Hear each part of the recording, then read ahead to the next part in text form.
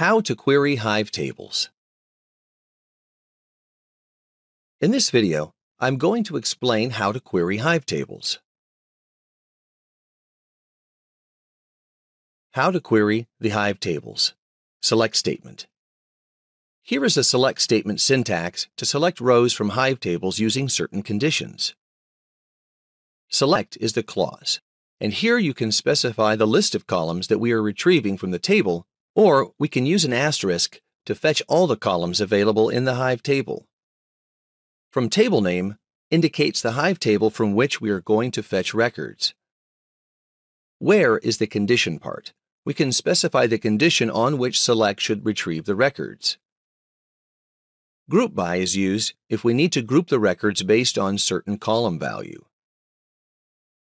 Order by clause is used to sort the rows based on certain conditions.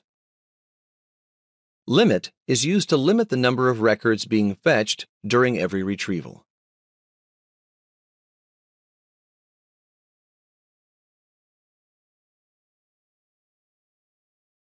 Let's try this statement in the Hive console. I have a Hive table where we have the data for the employee ID, employee name, employee salary, employee city, and employee state columns. I'm issuing a select statement to fetch only employees from the state Arizona and group the records by city. I'm using the select statement and specifying the condition selecting only the state of Arizona in the where clause. I am then grouping the records by city by specifying in group by clause. Finally, I'm giving order by ID. This is just to sort the records based on the employee IDs.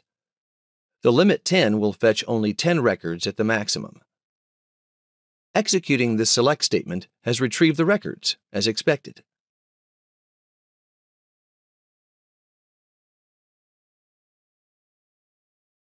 In this video, we have seen how to write a select statement to retrieve data from a Hive table as per our requirements. Next, we will see how to alter a Hive table using the alter statement. See you in the next video.